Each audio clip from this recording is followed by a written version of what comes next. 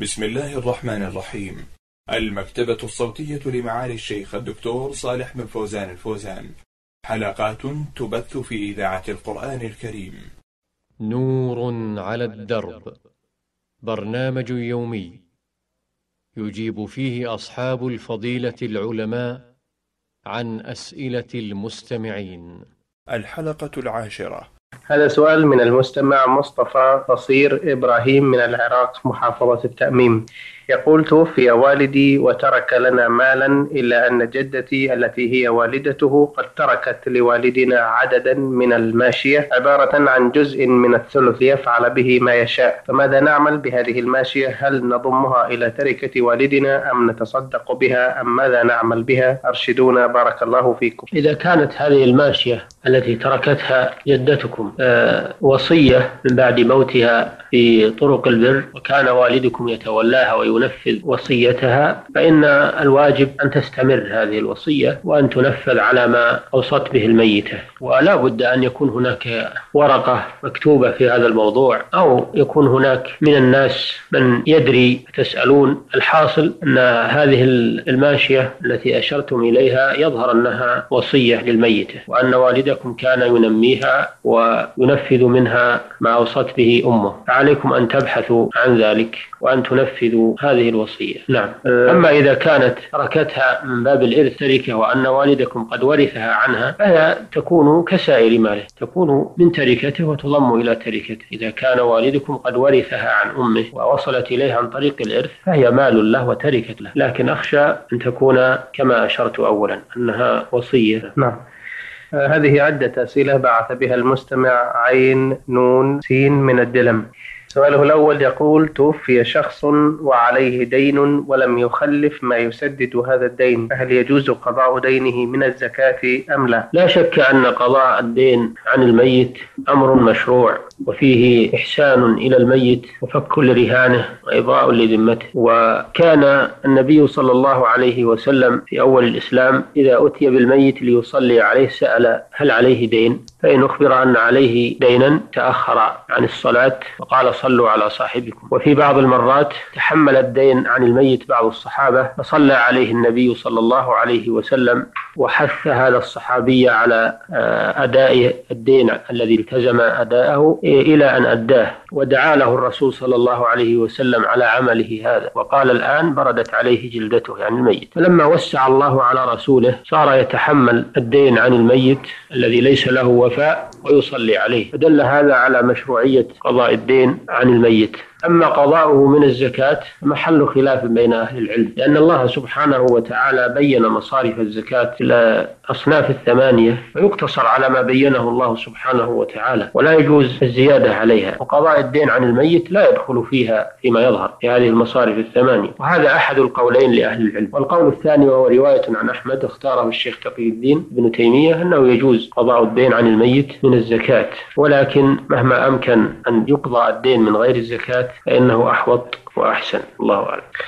بارك الله فيكم. سؤاله الثاني يقول هناك شخص يعرف أنه موسر إلا أن موزع الزكاة يخشى من أذاه عليه. هل يعطيه من الزكاة خوفا من أذاه أم لا؟ الزكاة كما أشرنا تصرف في مصارفها التي عينها الله سبحانه وتعالى ولا تصرف في غيرها. الغني لا يجوز أن يعطى منها. ما دام هذا الشخص الذي ذكرت غني هذا لا يعطى من الزكاة لأنه لا يستحقها. أما إذا أردت أن تكف لسانه وشره فأعطه من غير الزكاة. الله تعالى أعلم. سؤال ثالث يقول إذا فات المأموم ركعة من صلاة العيد أو الاستسقاء هل يجب عليه التكبير عدة مرات مثل الإمام قبل قراءة الفاتحة أم لا؟ من فاتته صلاة العيد أو الاستسقاء فإنه يستحب له أن يقضيها على صفتها. إذا فاتته كلها فإنه يقضيها على صفتها ومن ذلك التكبيرات الزوائد. وكذلك إذا فاته بعضها نعم. لأن فاته ركعة منها فإنه يدخل مع الإمام بما بقي وإذا سلم الإمام يقوم ويأتي بما فاته على صفته على صفته بالتكبيرات.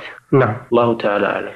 يقول أيضا إذا فات المأموم الركوع الأول من الركعة الأولى في صلاة الكسوف ولم يتمكن إلا من الركوع الثاني والأربع السجدات فهل يجب عليه قضاء قضاء وما صفة ذلك؟ الركوع الثاني في صلاة الكسوف سنة ولا تدرك به الركعة نعم. إذا جئت والإمام يصلي صلاة الكسوف وهو في الركوع الثاني من الركعة الأولى أو من الركعة الثانية الركوع الثاني هذا لا يعتد به ولا تدرك به الركعة ولكن تدخل مع الإمام فيه تدخل مع الإمام فيه لتحصل على الفضيلة. فإذا سلم الإمام فإنك تقوم وتأتي بما فاتك على صفته. تأتي بركعة كاملة بركوعين وأربعين بركوعين وسجدتين. بركوعين وسجدتين. وسجدتين. نعم.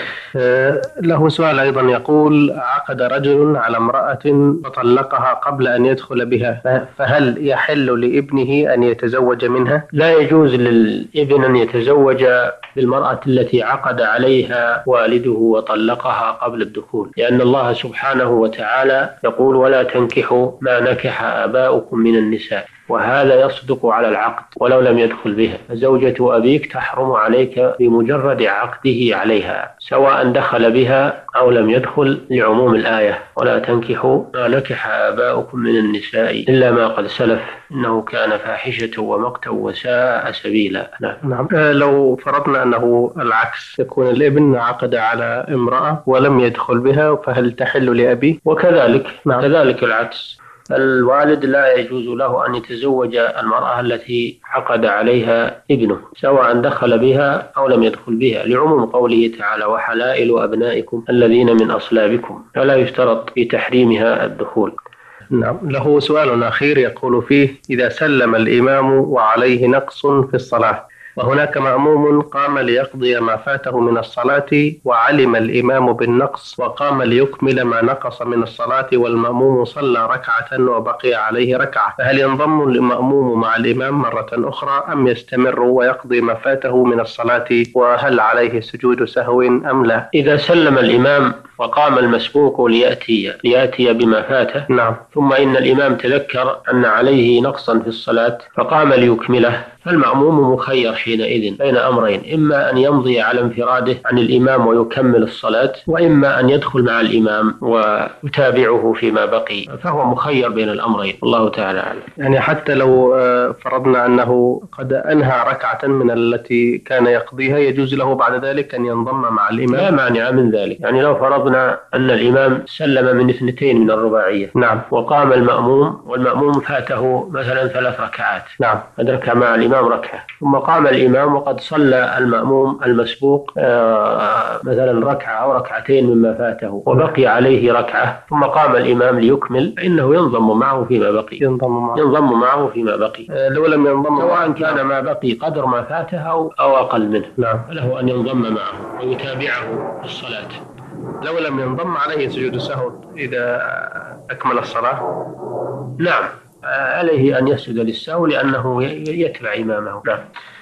بارك الله فيكم. هذا سؤال من المستمع ميم راء حا من أبها محايل يقول تجري عادة عند بعض الأشخاص المشتغلين بتربية المواشي وهي إجراء عملية الخصي للذكور منها رغبة في تسمينها وذلك بعدة طرق كلها تصدر ألما للحيوان فهل هذا جائز أم لا؟ كذلك عملية الوسم أي التي آه، أي وضع علامة على أذن الحيوان بحرقها بالنار أو قطعها ونحو ذلك مما يسبب ألما شديدا له فهل في ذلك إثم على فاعله أم لا؟ يجب الإحسان بالحيوانات وعدم الحاق الضرر بها وما يؤلمها من غير مصلحة شرعية ويجب الرفق بها والإحسان إليها. أما مسألة خص الحيوان لأجل تسمينه أو مثلا واسمه لأجل يعرف إما بقطع آه، أذنه أو كيه أو ما أشبه ذلك فلا بأس بذلك لأن هذا لمصلحة لأن فعل هذا لمصلحة لكن عليه أن يستعمل مع الحيوان في إجراء هذه العملية الأسهل ولا يستعمل بطريقة الخصي أو طريقة الوسم الطريقة المؤلمة التي تؤذي الحيوان بدون بدون فائدة. على أنه يحرم عليه أن يجعل الوسم في الوجه يتجنب وجه الحيوان فلا يسمه لا بكي ولا بقطع ولا بضرب ولا بغير ذلك لأنه منهي عن ضرب الوجه والوسم في الوجه. أما الوسم في الأذن فلا بأس بذلك سواء كان بقطع طرف منها أو خرقها أو كيها بنار لا بأس بذلك لأنه لمصلحة لكن عليه أن يستعمل الطريقة المريحة في هذا. نعم. جزاكم الله خيرا. على الموافقة أو احتال عليه حتى أجريت له العملية دون علمه ودون موافقته. فهل يعتبر هذا عقوقا بوالده يأثم عليه؟ علما أن الدافع له محبته لوالده وطمعه في شفائه مما يعاني من مرض. ولو فرضنا وحصلت وفاة نتيجة هذه العملية التي تسبب فيها ابنه فهل يلحقه إثم بذلك أم لا؟ بسم الله الرحمن الرحيم. الحمد لله والصلاة والسلام على رسول الله وعلى آله وصحبه. تذكر أيها السائل أن والدك أصيب بمرض ويحتاج إلى عملية جراحية ولكنه لا يرغب في ذلك وأنك ألححت عليه أو احتلت عليه حتى أجريت له. فهل عليك في ذلك إثم؟ لا حرج عليك في ذلك إن شاء الله لأنك تريد له الخير وتريد له المصلحة ولم تريد به الضرر فلا حرج عليك في ذلك. بل أنت محسن ويرجى لك الأجر إن شاء الله. وحتى لو توفي من أثر هذه العملية ما دامت أنها عملية آه، جارية مجراها الطبي ولم يحصل فيها تفريط والطبيب من أهل الخبرة توافرت. الشروط فلا حرج عليك في ذلك لأنك محسن. الله تعالى يقول ما على المحسنين من سبيل. الله تعالى أعلم. جزاكم الله خيرا. آه، بالمناسبة لو بالنسبة للأطباء الذين يجرون هذه العمليات لو فرضنا ومات أحد المرضى بين أيديهم وهم يجرون العملية بسبب هذه العملية آه، ألا يلحقهم في ذلك شيء أو يلزمهم كفارة؟ إذا حصل منهم تفريط نتج عنه وفاة الشخص أو كان الطبيب لا يحسن إجراء العملية نعم. فإنه يتحمل في هذا ويكون عليه مسؤولية يكون عليه الكفارة والدية أيضا على عاقلته لأن هذا يعتبر من قتل الخطأ. أما إذا كان الطبيب مثلا خبيرا بإجراء العملية وحالة المريض تتحمل هذا الشيء ولم يحصل تفريط إنه لا حرج عليهم في ذلك ولا وليس عليهم ضمان ولا كفارة. نعم, نعم. لو كان هناك تفريط وكانوا أكثر من واحد يعني مثلا طبيب ومعه مساعده أو مساعدان هل يلزمهم جميعا هذه الكفارة؟ إذا مثلا وجبت كفارة أو ضمان في حالة إجراء العملية فإن هذا يتناول كل المشتركين فيها المباشرين نعم. المباشرين لها إذا كانوا اشتركوا في مباشرة العملية فإنهم يشتركون فيما يترتب عليها من الضمان والمسؤولية نعم. جزاكم الله خيرا هذا سؤال من المستمع عبد الرزاق محسن من العراق العراق بغداد. يقول أرجو إفادتي هل الإنسان مخير في دنياه أم مسير؟ ففي الآية الكريمة التالية قوله تعالى فمن شاء فليؤمن ومن شاء فليكفر تفيد أن الإنسان مخير. وفي الآية الكريمة الأخرى وما تشاءون إلا أن يشاء الله تفيد أن الإنسان مسير. فما معنى الآيتين؟ وهل بينهما تعارض كما يظهر أم لا؟ الإنسان مسير ومخير يجتمع فيه الأمران. نعم. فهو مسير من حيث جريان أقدار الله وقضائه عليه وخضوعه لذلك كونا وقدرا وأنه لا يمكنه التخلص من قضاء الله وقدره الذي قدره عليه. فهو من هذه الناحية مسير. أما من ناحية أفعاله هو وحركاته وتصرفاته فهو مخير لأنه يأتي ويذر من الأعمال بإرادته وقصده واختياره فهو مخير والعبد له مشيئة وله اختيار ولكنه تابع لمشيئة الله سبحانه وتعالى وقضائه وقدره. ولذلك يثاب على الطاعة ويعاقب على المعصية التي يفعلها باختياره وإرادته. أما الإنسان الذي ليس له اختيار ولا إرادة كالمكره والناس والعاجز عن فعل الطاعة هذا لا يعاقب لأنه مسلوب الإرادة والاختيار إما بالإكراه وإما بالنسيان وإما بالعجز. أو بفقدان العقل. أو بفقدان العقل. كالمجنون والمعتوه نعم. فهو في هذه الأحوال لا يعاقب على تصرفاته لأنه فاقد للاختيار فاقد للإرادة. أما ما أشرت إليه من الآيتين الكريمتين قوله تعالى وما تشاءون إلا أن يشاء الله رب العالمين هذا يؤيد ما ذكرنا لأن الله أثبت للعبد مشيئة واختيارا وأثبت لنفسه سبحانه وتعالى مشيئة وجعل مشيئة العبد تابعة لمشيئة الله عز وجل. دل دلت الآية الكريمة على إثبات المشيئتين إثبات المشيئة للعبد وإثبات المشيئة لله وأن مشيئة العبد تابعة لمشيئة الله عز وجل. وأما قوله تعالى فمن شاء فليؤمن ومن شاء فليكفر هذا ليس معناه التخيير بل هذا معناه هذا معناه الزجر. والتهديد. والتوبيخ. نعم. قل الحق من ربكم من شاء فليؤمن من شاء فليكفر إنا أعتدنا للظالمين نارا أحاط بهم سرادقها. هذا معناه التهديد والتوبيخ. وأن الإنسان إذا عصى الله سبحانه وتعالى وكفر بالله فإن الله يعاقبه لأنه فعل الكفر باختياره وفعل الكفر بإرادته ومشيئته فهو يستحق عقاب الله ودخول النار. إنا أعتدنا للظالمين نارا أحاط بهم سرادقها. نعم. بارك الله فيكم. هذان سؤالان من السائل ألف ميم دال معلم سوداني بالمملكة.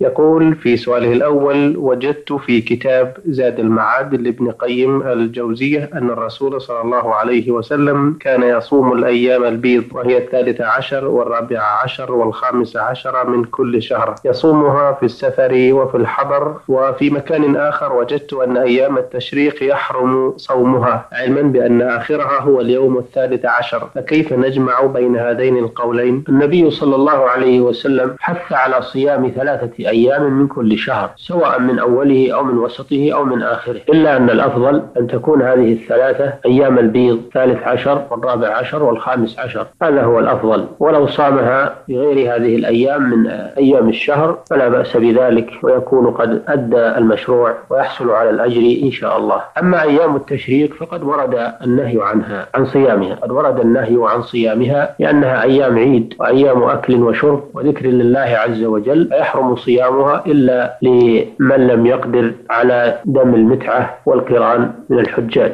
الحاج القارن أو المتمتع يجب عليه الهدي. فإذا لم يجد الهدي فإنه يصوم ثلاثة أيام في الحج. ولو صادف ذلك أيام التشريق. لحديث عائشة أن النبي صلى الله عليه وسلم نهى عن صوم أيام التشريق نهى أن أن تصام أيام التشريق إلا عن دم متعة أو قران. فهذا شيء خاص. هذا شيء خاص للنهي عن عن صيامها في هذه الحالة. نعم. أما فيما عدا هذه الحالة فيما عدا أيام التشريق فالأفضل أن تصام أيام البيض. نعم. بالنسبة لأيام البيض هل صحيح أن الرسول لم يتركها لم يترك صيامها سفرا ولا حضرا؟ أم أنه أمر مستحب؟ الرسول صلى الله عليه وسلم كان يصوم تطوعا ويكثر الصيام. نعم. كان يصوم حتى يقال لا يفطر وكان يفطر حتى يقال لا يصوم. الرسول صلى الله عليه وسلم كان يكثر من صيام التطوع حضرا وسفرا. أما كونه يلازم أيام البيض هذا لا أدري لا يحضرني الآن شيء فيه. نعم.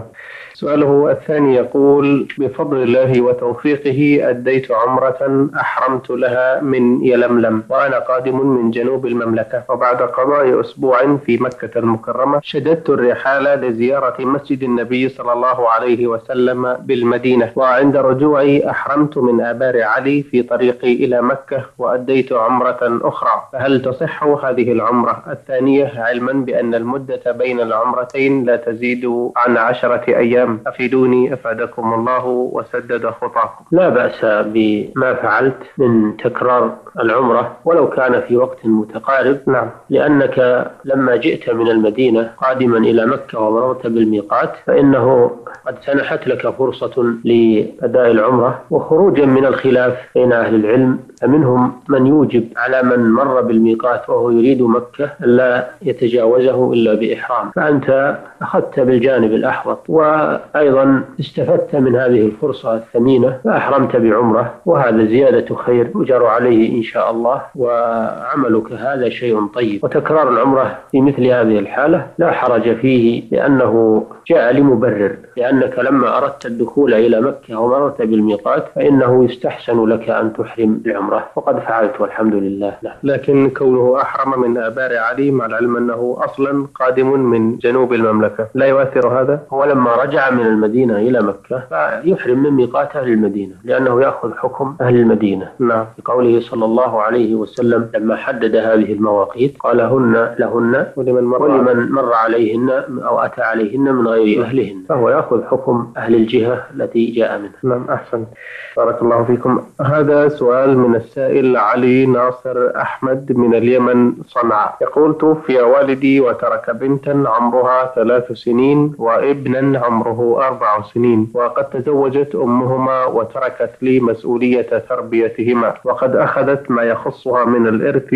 بعد والدي. والآن تزوج الولد والبنت وأصبحوا يطالبوني فيما اكتسبته بعد وفاة والدي. علما أنني أنا الوحيد الذي شاركه الاكتساب في حياته. فهل لهم الحق في المطالبة فيما كسبته بعد وفاته أم أنه يخصني وحدي فقط؟ أفيدونا جزاكم الله خيرا. أما ما كان قبل وفاة والدك فهذا يعتبر لهم لإخوتك الصغار نصيب فيه. نعم لأنه من تركة ميتهم. فكان الواجب عليك أن تحصره وأن تحصيه وأن تحفظه لهما حتى يكبرا وتنفق وتنفق عليه عليهما منه. وإذا بقي شيء بعد بعد النفقة عليهما تدفعه إليهما إذا كبر. أما ما اكتسبته بعد وفاة والدك فهذا إن كان رأس المال هو الذي كان معك ومع والدك قبل وفاته فلهم نصيب أيضا من ربحه لأنه يعتبر كالمضاربة. فإذا كان رأس المال من المال المشترك بينك وبين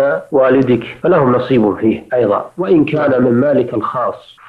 أيضا. وإن كان من مالك الخاص وتصرفت في مالك الخاص بعد وفاة والدك فإنه لا علاقة لهم به أنه يعتبر كسبك ومالك. وعلى كل حال القضية فيها طرفان وإذا رجعتما إلى المحكمة الشرعية فهي إن شاء الله ستدرس ملابسات القضية وتبين لكل ذي حق حقه. والله أعلم. بارك الله فيكم. هذا سؤال من المستمع عايش عجيل من سوريا يعمل بنجران. يقول كان لي عم ليس له زوجة ولا أولاد ويملك قطعة أرض زراعية وكنت أنا الذي أعوله وأقدم له كل ما يحتاجه من مسكن وطعام وشراب وكساء دون أجر. وأعامله معاملة والدي ووالدي متوفى وله أخ آخر. أردت أن أشتري قطعة الأرض التي يملكها عمي حيث أنه عاجز عن العمل وأردت أيضا أن أحرم عمي الآخر من قطعة الأرض الذي هو أخوه. فاشتريتها بموافقة عمي وإرادته دون إكراه على ذلك وأشهدت ثلاثة شهود على عقد البيع ثم أخذت المبلغ منه تلفا وتوفي بعده فقمت بتكاليف الوفاة ومن ثم اشتريت له بقرة كأضحية له. هل هذه البقرة التي ذبحتها أضحية له تعتبر من ثمن الأرض؟ لأن له وريثا آخر هو أخوه. وهل المبلغ المتبقي لي حق به أم كله لعمي؟ أم ليس لنا جميعا حق به؟ وماذا أفعل به في هذه الحالة؟ أما مسألة شرائك الأرض من عمك إذا كان القصد القصد من ذلك حرمان الورثة وحيازة الأرض لك فهذا بيع باطل. إذا كان يقصد به آه، الإلجاء أو التلجئة إذا كان يقصد به التلجئة وحرمان الورثة والمحاباة معك. هذا بيع باطل والأرض تكون تركة للميت لورثته. نعم. وأما قضية البقرة التي ذبحتها لعمك بعد وفاته إن كان عمك أوصى بذلك فلا حرج في, في ذلك. تعتبر أضحية. إذا كانت في وقت الأضحية تعتبر أضحية وصية. وقد نفذتها أما إذا لم يكن عمك أوصى بها فإنها تكون من مالك أنت لا من مالي لا من مالي وتركة عمك. أنه لا يجوز لك التصرف بعد وفاته بشيء من ماله لأنه أصبح حقا للورثة. أما قضية الإرث فلا حق لك فيه ما دام عمك موجودا. إذا كان عما شقيقا للميت أو عم أو إذا كان أخا شقيقا للميت أو آه، أخا لأب فإنه لا علاقة لك بالميراث لأنك محجوب بعمك. أما إن كان عما من الأم يعني يكون أخا لأبيك من أمه فإنه لا شيء فإذا كان أخا لأبيك من أمه فإنه لا شيء له. أخا لعمه. إذا كان هو عم السائل. نعم هو عم السائل. إذا كان عما له من الأم يعني أخا لأبيه من الأم. نعم. فليس له شيء والميراث يكون للسائل. نعم. آه، ولمن آه، مثلا معه من الآخر إذا كان هناك ورثة آخرون. المهم أن الميراث يكون لأخي الميت الشقيق أو لأبيه وليس لابن أخيه شيء مع وجود شقيق أخيه الشقيق أو أخيه لأب. لا شيء؟ لابن أخيه. نعم. نعم. إذا فرضنا صحة شراء هذه الأرض هل هذه الأضحية التي ضحاها ينقص ثمنها من قيمة الأرض؟ لأنه حتى قيمة الأرض استلفها من عمه. آه هذا كما ذكرنا إذا كان هذه الأضحية بوصية من العم فهي تع- تعتبر تعتبر آه، مستثناة نعم. لأن العم له أن يوصي بالثلث فأقل. فإذا كانت الو- البقرة أو قيمة البقرة تخرج من الثلث من ويكون هذا من الدراهم التي في ذمة السائل للميت. نعم. يعتبر هذا هذه وصية نافذة لأنها لأنها تعتبر من الثلث. يعني لا تنقص عنه شيئا من قيمة الأرض؟ نعم. لا تصرفها من قيمة الأرض. نعم. إذا كان العم أوصى بها فيصرفها من قيمة الأرض ال- الذي في ذمته لعمه. نعم. لأنها تعتبر من الثلث. نعم. أما إذا لم يكن أوصى بها فإنها تكون تبرعا من الذي ذبحها ولا شيء ولا ولا يستحق شيئا من مال مقابلة من مقابل